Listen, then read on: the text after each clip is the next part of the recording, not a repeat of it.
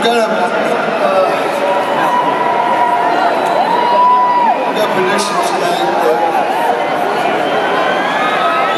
No, no, I'm not going to talk politics. I'm going to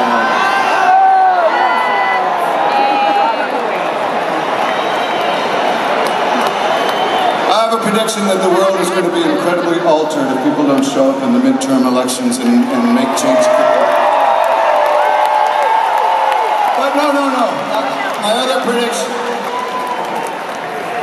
is that I think that Mike McCready is going to play a crazy solo on the next song. And I base that prediction on the fact that he, he, he plays out of his fucking mind. Like always and most of the time, but especially when he's really fucking pissed off.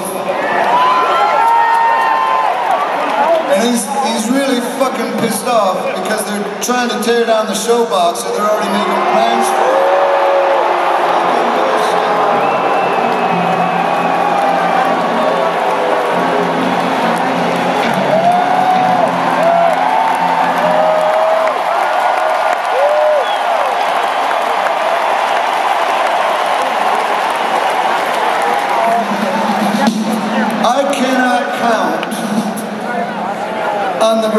There, there's there's more great shows that I've seen, legendary acts, legendary bands, legendary people, legendary nights at that one venue here in Seattle than, than brain cells that I have left in my head.